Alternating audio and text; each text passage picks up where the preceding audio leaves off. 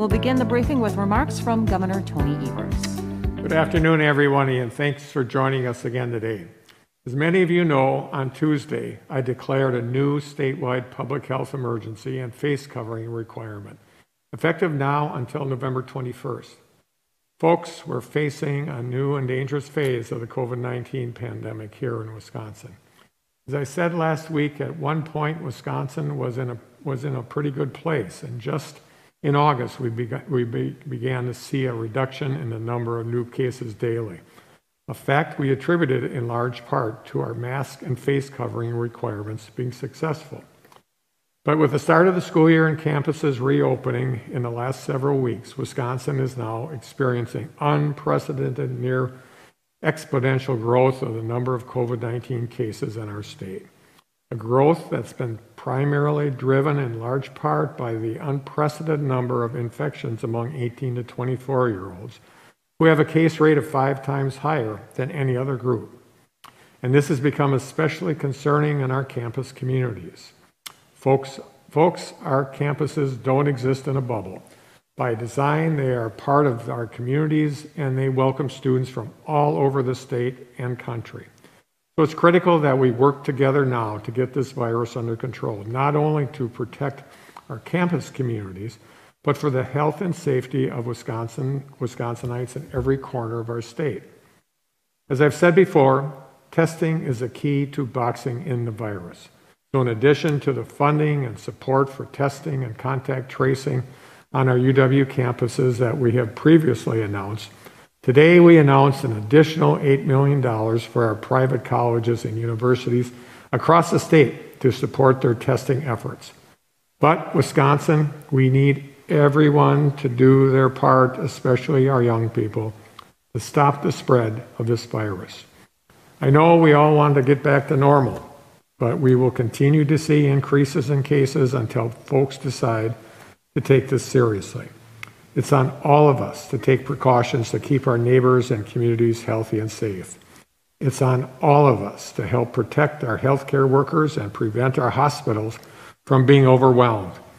And it's on all of us to ensure our small businesses can continue to operate safely and our economy has the opportunity to bounce back. Because public health is everybody's issue. And overcoming COVID 19 is on every community, every age group, and every Wisconsinite. It's on all of us together. Our statewide efforts have worked before, and they can work again. So please be extra cautious in the days and weeks ahead. While we continue to encourage folks to wear a mask, remember that it is not a substitute for physical distancing. Continue to maintain six feet of distance from those outside your immediate household and skip heading out to the bars or to parties. Many businesses found new and innovative ways to serve Wisconsinites during the pandemic, so continue to use alternative shopping and dining options like curbside pickup and delivery. Catch up with friends and family members virtually and remember that staying home continues to be the best way to prevent and getting and spreading this virus. And of course, wear a mask. Wearing a mask in public is a simple and necessary commitment to the common good that we should all be willing to make. Because that's what Wisconsinites do. We look out for our neighbors, we take care of one another, and we know that our state is strongest when we band together. So stay healthy and stay safe, Wisconsin. I'd now like to pass things over to Secretary Designee Andrea Palm for her updates. Andrea? Thank you, Governor. Good afternoon, everyone, and thanks again for joining us. Uh, we are entering a new and dangerous phase, as the governor said, of this pandemic here in Wisconsin. COVID 19, as you know, is a respiratory virus, and we know that most respiratory viruses reach peak activity in Wisconsin between late fall and early spring. If COVID 19 follows that pattern, we must be prepared and we must act now to stop the spread. For those of us in state government, acting now means we've declared a new public health emergency to address the new realities of COVID 19 here in Wisconsin. For each of us living in Wisconsin, acting now means making the choice to stay home, and when we do go out, wearing a mask. It means practicing good hand hygiene, physical distancing, and getting a test if you have symptoms or have been exposed to COVID 19. It means following the guidance of local public health departments, quarantining as you wait for your test results, and self isolating if you test positive. And it means getting your flu shot to help prevent the spread of flu at the same time we are already dealing with COVID 19. The new realities of COVID 19 in Wisconsin are stark. There are now 108,324 confirmed cases of COVID 19 in Wisconsin. That is an increase of 2,392 cases over yesterday. Our seven day average of new daily cases is 1,939, which is up from 665 one month ago. Our total deaths have reached 1,265 Wisconsinites. All 72 counties in Wisconsin are seeing high disease burden. This is a statewide challenge, and we must meet it with both statewide and individual action. That is why extending the mask mandate was so important. Because, yes, our case numbers are going up, and we also know that masks work. The science shows that they form a barrier against respiratory droplets that spread COVID 19. Mask wearing is only effective the more we do it together. Everyone can wear a mask safely, excuse me, everyone who can wear a mask safely should wear a mask.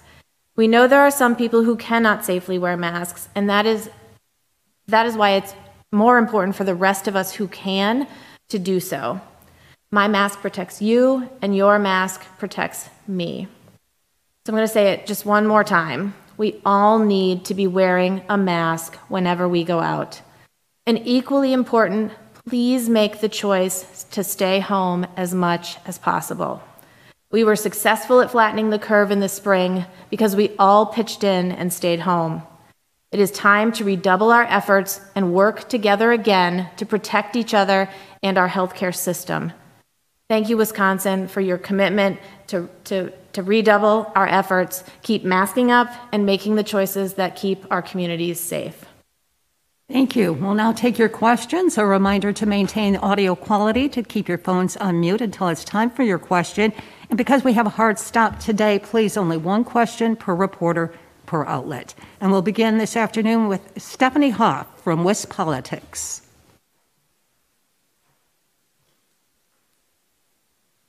Hi, and thanks for taking my call today.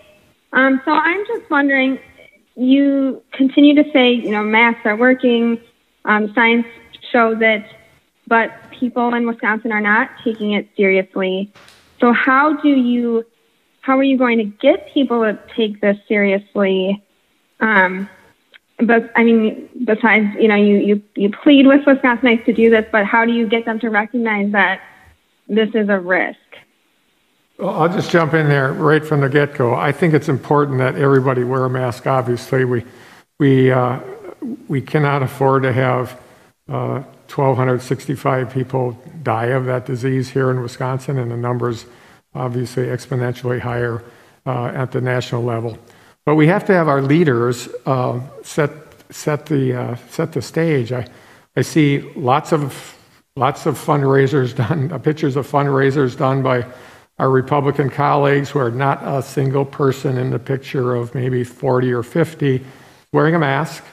Uh, they're hugging each other. They're having a hell of a good time. No mask. Now, I'm not against their fundraising. Uh, we all do that. But at the end of the day, uh, when our leaders in the state uh, don't want to cooperate on this issue, it makes it difficult for people that support them across the state and, uh, and others to say, well, I guess it's not important. So it starts at the top. We will continue to do what we can.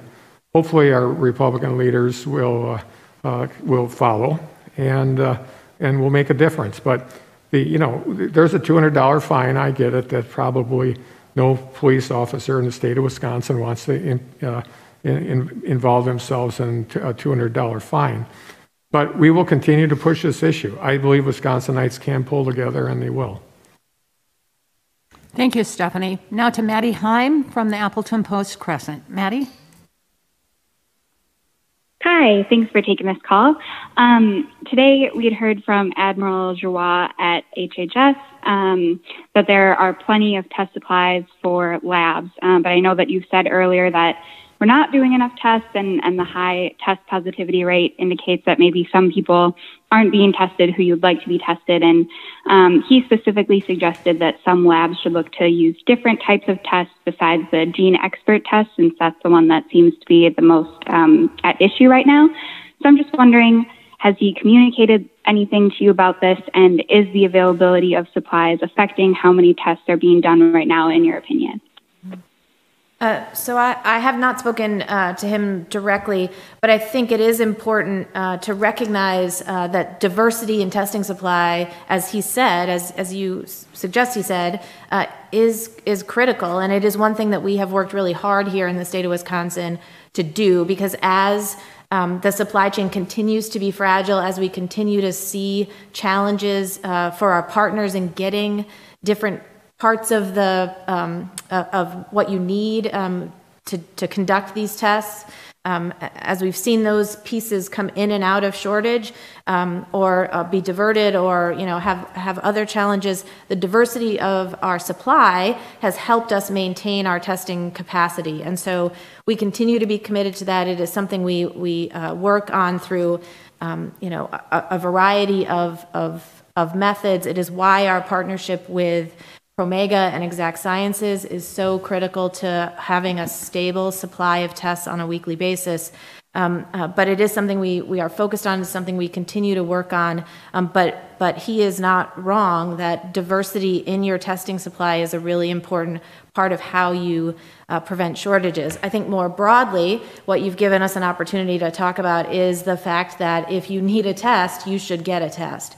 We have capacity in our system if you're experiencing any kind of symptoms, um, please get a test, uh, call your local healthcare provider, go to one of our uh, community testing sites. Uh, but we do have tests available uh, every day, and, and we would encourage folks to get tested if you need a test. It is the first step in us uh, identifying where the virus is so that we can do the work that needs to follow uh, to stop the spread. Thank you, Maddie. Now to Kent Wainscott from WISN TV in Milwaukee. Kent?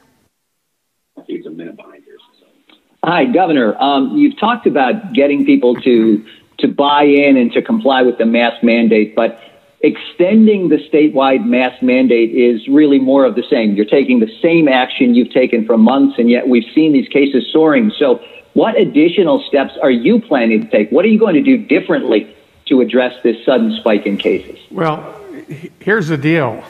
Last April, uh, the Supreme Court, uh, with, the, with, uh, with being allies with Republicans, closed down uh, our stay, uh, safer at home order. And that essentially precluded all sorts of mitigation strategies, you know, whether it's numbers, uh, numbers of people in bars and restaurants or whatever. We, we had a plan for a, a safer opening for the state of Wisconsin. That didn't happen. Those things are, frankly, uh, out of my control. And as you've seen, the, um, uh, in the recent time, they even took uh, Dane County to court to, to stop them from, uh, from some mitigation efforts. So the, um, we, I'd be glad Republicans can come in come into uh, Madison at any point in time and, and pass some things, and I'll get behind them 100% that would mitigate and make a difference in this. Uh, they, the masking is what is important, as is contact tracing, as is testing. Those three things are the most important things that we can do, and we will continue to do that uh, until we drive this number down. But just remember where we were last April and look at where we are now. And I can tell you that uh, uh, I believe it would look a lot different if the chaotic decision of the Supreme Court did not happen. Thank you, Kent. Now to Mitchell Schmidt from the Wisconsin State Journal. Mitchell? Yeah, thank you very much for the call today. Um, this might be a question for uh, Palmer Westergaard. I was just kind of curious. You talk about flu season coming on the way. Um, obviously, we've seen statewide the Wisconsin Hospital Association is reporting uh, a new kind of peak in um, uh, hospitalizations. I was just curious if there's, uh, with flu season on the way, if there's any additional concern or heightened concern um, with those hospitalization numbers. Yeah, absolutely. And uh, Dr. Wesker will probably want to say a few things as well. Um, I think it is exactly, um, Mitchell, uh, one of the things that makes this a critical moment in our response um, and why we need together to make choices that uh, will help reduce the spread of this disease. Because as we see flu season come into play, um, our hospital, our frontline healthcare workers and our hospital systems are going to have to not only treat um, what they see on a regular basis, plus COVID, they now uh, are faced with, with a flu season, which does always result in hospitalizations and death. That is just something that we know happens every year. And so while we are working very hard um, and trying to drive a message of increasing flu vaccination, everybody in the state of Wisconsin, it's more important this year than any year to get a flu shot. They are, they are available at your pharmacy, call your primary care, um, but get a flu shot because we will, uh, we will mitigate um, the need for, uh, for hospitalization and taxing our healthcare system, uh, the fewer people who get flu this season. And so it is an important thing. It is an important action we can each take uh, to help, uh, again, um, protect our hospital system, our healthcare workers. But, but you're right, the, the numbers we have seen in recent days in hospitalizations um, uh, are concerning. And it, it, it, again emphasizes why the it's important to act now. It's important for all of us to make choices now. Um, because, right, what do we know about um, the incubation period, right? We, we need to do things that have impacts a couple weeks from now, considering the length of time it takes uh, uh, for COVID symptoms to develop for us to understand um, who and where the disease is, is um, uh, is escalating. And so we need to take actions now in light of some of these initial signs we are seeing in hospitals, what we know about flu season. Um, so it really does uh, emphasize the importance of our actions right now to stop the spread and, and protect each other um, and the state uh, more broadly. But I don't know, Dr. Wester, if you want to say more. Well, I'd, I'd emphasize that the fortunate thing is that we, we have strategies to minimize the impact of influenza that we don't have for COVID 19. We have, we have effective vaccines, we have antiviral drugs. Um, and, and thirdly, we know that the evidence is accumulating that the same infection prevention strategies of hand washing and face masks and social distancing uh, seem to work very well for preventing the, the flu. So it's in all of our interest to minimize how much influenza affects us. And we have things that we can do. And in a large part, they line up with the things that we need to do also to prevent the spread of COVID 19. Because it's, it is, it's tremendously concerning to, to think about the possibility of a bad flu season on top of a COVID 19 pandemic. So we, um, we need to use all the tools we have to make it as, as, as low of a risk as, as we can. Thank you, Mitchell. Now to Mason Dowling from WAOW TV in Wausau. Mason? Hi, can you hear me? Perfect. Thank you. Uh, thank you for taking this call, Governor. I wanted, and uh, DHS, I wanted to ask uh, basically whoever feels like fielding the question.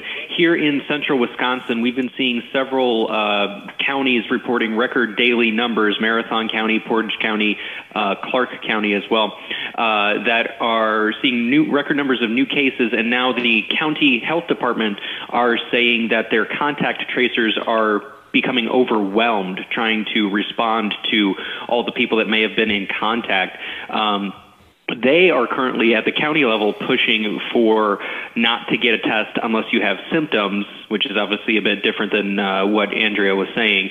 Uh, so I just didn't know if you had any reaction to the growing amount of cases here in central Wisconsin.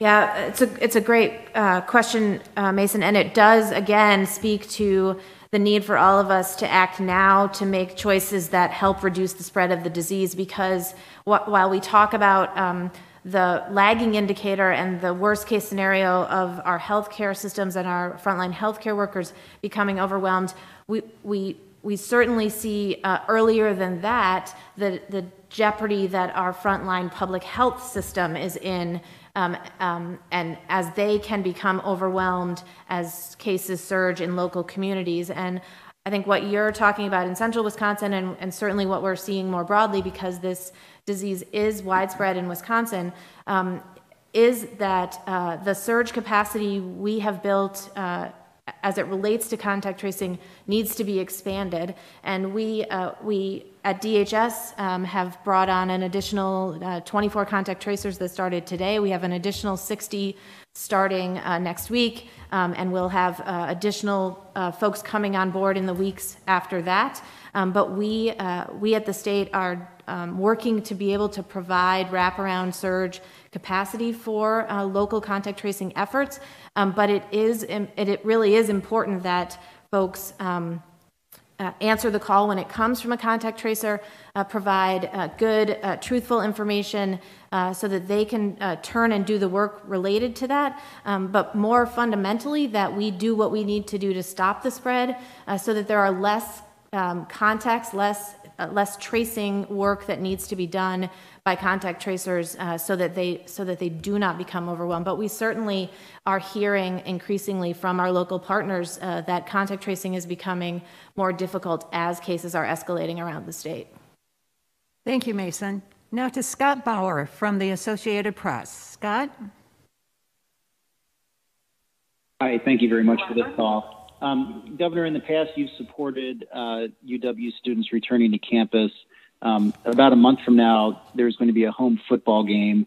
While fans won't be allowed in Camp Randall, um, it seems likely that students will be congregating all over campus for that game.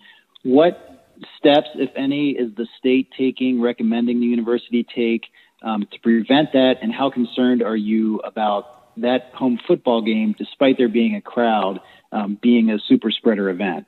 Yeah, and that, that is, Scott, that is a huge issue for us, and uh, we're, to actually be asking the Big Ten to help out with that. Uh, the Big Ten is spending a lot of money to bring football back into play, and uh, they're spending a lot of money for, for the, the testing and other things of football players. I, they need to step up and, have a significant stake in this game outside of, you know, football is about football players and football fans. And I expect the Big Ten should be doing a PR campaign around this big time. Uh, they, they, they are part of the uh, people that um, uh, made that decision to uh, bring back football. I'm not arguing with the, with the, with the uh, position, but I, I believe that they also have an obligation around that. We're also working with UW Madison on this issue, and Dane County, obviously, they have a mass gathering order.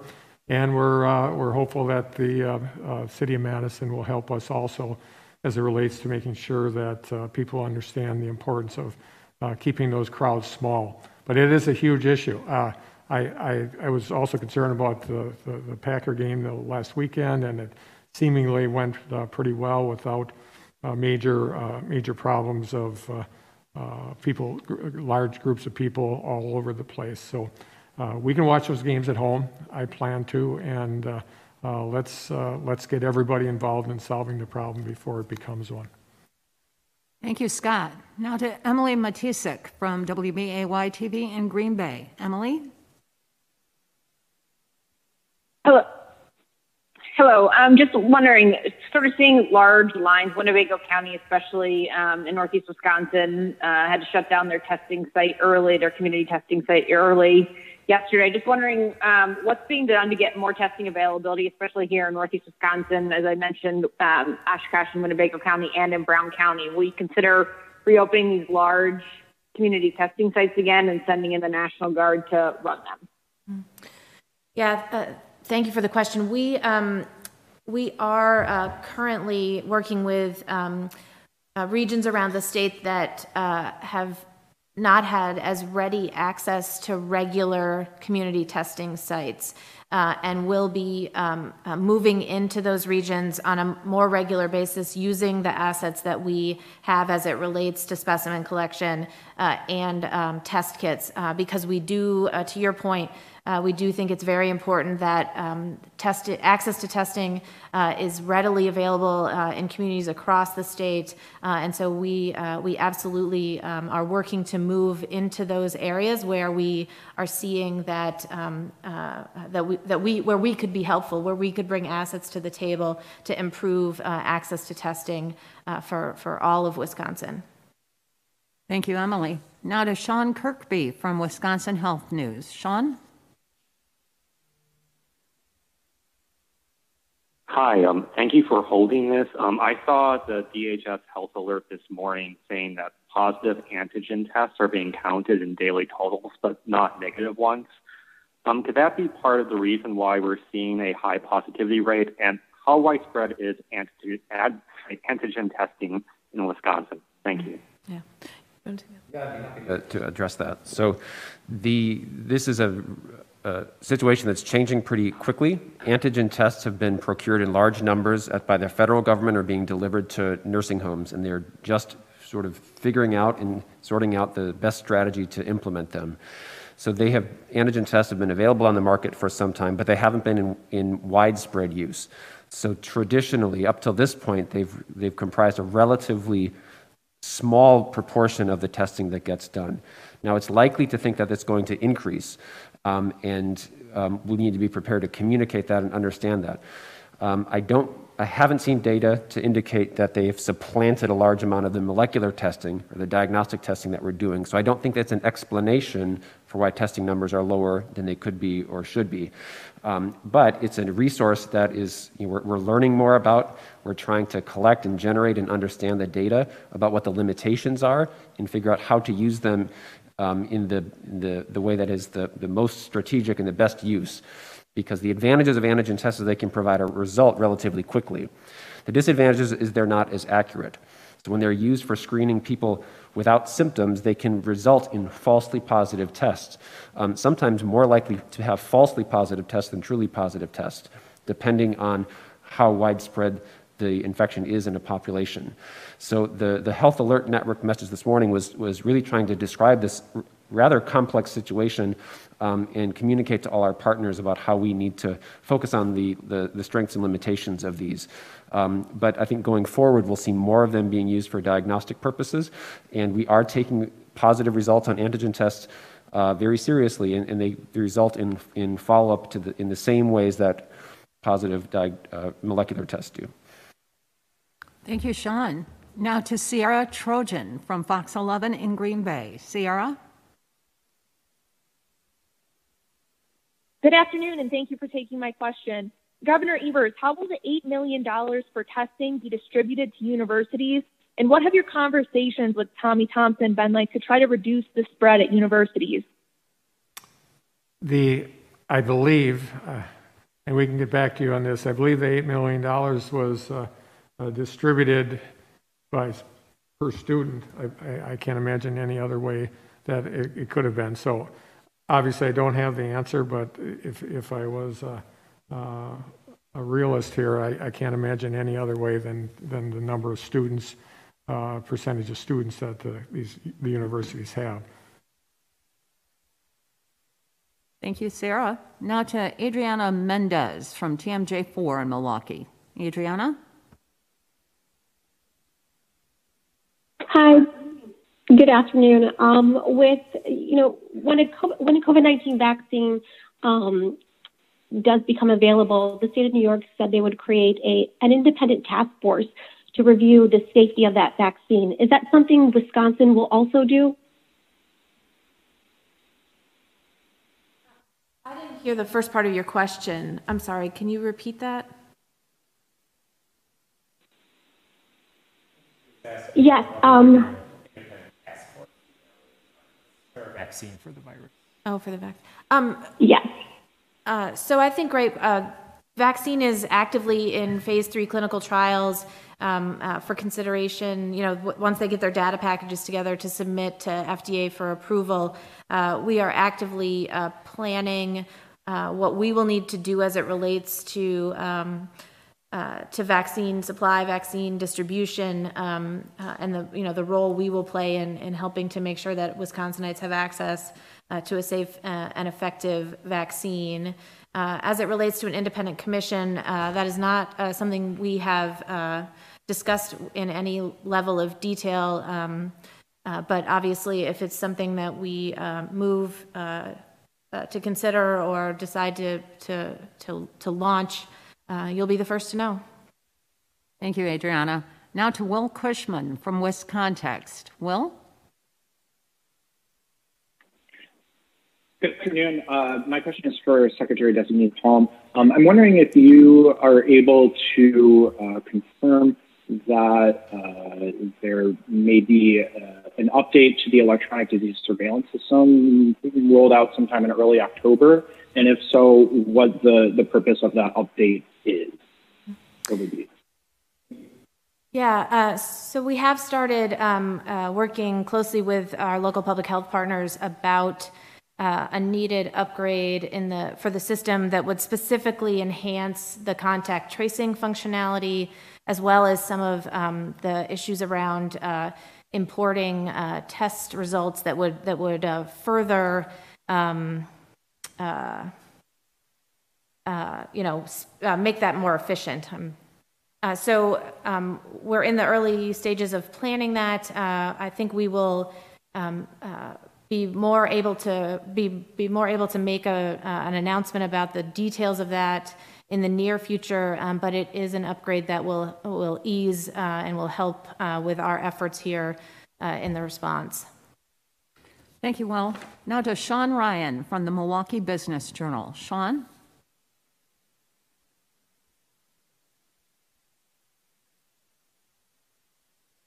Again, Sean Ryan from the Milwaukee Business Journal. Okay, we have to move on then to Danny Maxwell from WKOW TV in Madison. Danny? Hi, thank you for taking my question. Um, we talked about the WHA and it kind of um, it's reporting the new peak in hospitalizations. Things have been pretty stable here locally in Dane County and Madison where we are.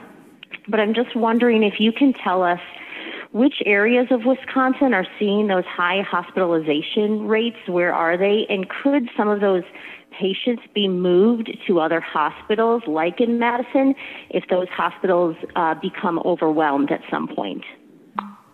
Yeah, uh, that's a that's a great question, and it does speak to the um, really important uh, planning and work that the hospitals uh, did together uh, and with their re- within their regions and across the state uh, thinking about these kind of questions and in anticipation of needing um, to be to essentially be backup to each other right? That's that's what surge planning and surge capacity is about in its um, most extreme form right? The hospitals within their own system do surge planning so that they can flex and uh, transition beds to, to different levels of care uh, to manage their their um, patient load uh, within system. And then right you you share across systems, uh, and then you think about sharing across regions. And it is also why um, uh, our alt- alternate care facility uh, is a really in- important insurance policy that we have invested in with CARES Act dollars uh, to make sure that if uh, that um, that sharing, that um,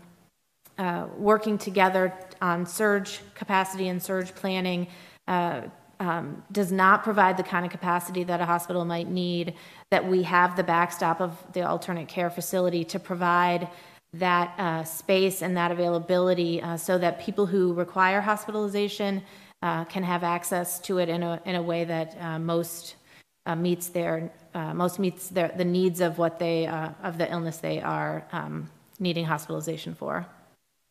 Thank you, Danny. Now to Erik Gunn from Wisconsin Examiner. Erik.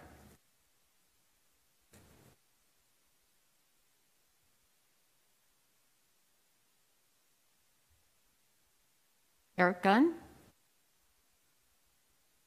And reminder, star six to unmute your phones.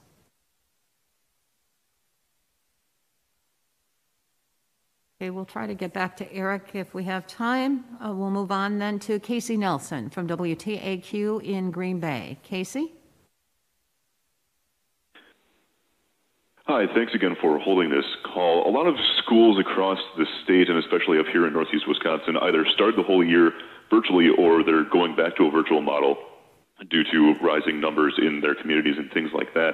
I mean, is there any kind of guidance from the state or DHS just for how schools can handle these kind of things and, and how even parents can handle uh, these, these situations to keep these numbers down to get kids back in the classroom at, at some point this year? Uh, yeah, we did. Um, we did, Casey, provide uh, guidance uh, around um, outbreaks and thinking about if you identify cases in your school, what does that mean? Uh, what tools do you have? Um, how do you notify parents? Uh, uh, the kinds of mitigation, uh, you know, everything from cleaning uh, to other strategies that schools can employ um, so that you are able to um, either maintain in person learning uh, because you you are able to you know it, it's one classroom it's not wider spread so how do you target that for example? Um, or if you are virtual or go virtual because of an outbreak uh, uh, um, the things you the kinds of strategies and actions you can take uh, to return to in-person learning if that's uh, what the what what local leadership at the school uh, is is is striving to do. Um, but that that guidance is out it is available um, and, and obviously, we always are happy uh, to continue to work with uh, local public health and with schools as they face particular situations and have questions or um, uh, need need uh, further, you know, technical assistance from us. We are always uh, ready and available to do that kind of work as well. Thank you, Casey. Now to Jeremy Nichols from NBC 15 in Madison. Jeremy.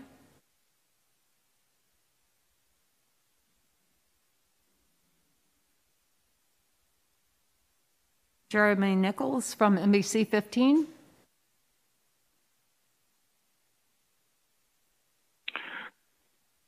Excuse me, this is Erik Gunn. My call dropped right when I was getting ready to ask my question. Is there time for me now? Uh, please go ahead. Thank you. Um, several months ago, the state uh, DHS was looking to hire a thousand contract tracers. Uh, it's never been exactly clear what happened. We did not seem to achieve that uh, goal, and I'm wondering if you can lay out the specifics of uh, why that didn't happen uh, the way you had hoped it would, and uh, what you may have learned to, to do differently from that. Uh, thanks, Erik. Um, so our goal was to um, was to hire a thousand contact tracers in the state of Wisconsin to do this work. We um, with our local public health partners, uh, have about 1,200, 1,240 contact tracers statewide. Um, in, in conversations with local public health and in developing um, and surge, you know, building up the infrastructure for contact tracing uh, through the spring and into the summer, um, uh, uh, we provided funding to uh, local public health departments uh, for that hiring, for you know, to get us to that thousand, so that we, in combination, reached that goal. Um, we continue uh, together to need to surge those resources beyond the 1,200 and change 1240, I think, that we have now. Um, so today, uh, I think I mentioned uh, we have an additional um, uh, 24 um, assets from uh, DHS that are going to surge into the system. We will. We are hiring um, uh, additional tranches now. Uh, 60 of them will start next week, um, and we'll roll into the into following weeks with additional contact tracing assets. Uh, local communities continue also to to staff up. Uh, um, uh, the University of Wisconsin continues to bulk up its contact tracing uh, staffing assets, um, recognizing the surge and the need for all of us to have additional assets to do this work.